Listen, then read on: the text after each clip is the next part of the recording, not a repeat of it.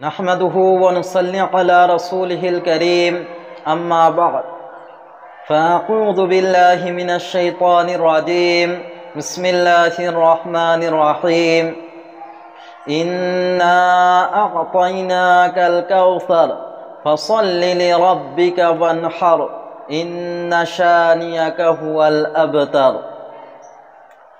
আজকে আমরা একটি গুরুত্বপূর্ণ বিষয় যা বর্তমান যুগে কিছু ইসলাম বেজার বা ইসলামের ব্যাপারে পরিপূর্ণ জ্ঞান না রাখা ব্যক্তির পক্ষ থেকে যে বিষয় বারবার আমাদের সামনে ভেসে আসে, সেই ব্যাপারে আমরা আজকে আলোচনা করতে যাচ্ছি।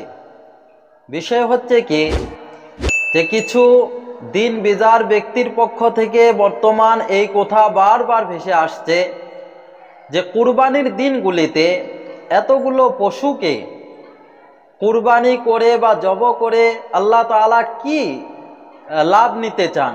আল্লাহ তালার এতে কি লাভ রয়েছে? এর পরিবর্তে আমরা যদি সে কুরবানির কিনতে যা পয়সা লাগে, কুরবানির পশু কিনতে যা পয়সা লাগে, সে পয়সাগুলো আমরা যদি গরিব দুঃখীকে দান খয়রাত করে দেই, তাইলে এতে বেশি লাভ হবে।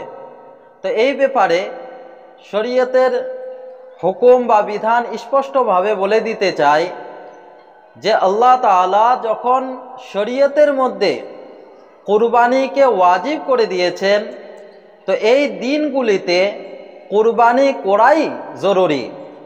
কোনো ব্যক্তি যদি কুরবানি না করে সে পয়সা করে দান খয়রাত করে দেয়, তাইলে সেই ব্যক্তি অবশ্যই গুণাগার হবে, তার জিম্মায় কুরবানি যেটা ওয়াজিব হয়েছে, সেটা তার জিম্মায় থেকে যাবে। আর সে কুরবানি না করলে তার গুনাহ তার জিম্মায় থেকে যাবে। এই জন্যে এরকমভাবে ভাবনা চিন্তা নিয়ে যে কুরবানির দিনগুলিতে পয়সা করে, দান খয়রাত করে দিলেই চলবে, এটা কোনো রকমভাবে শরীয়ত অনুমতি দেয় না।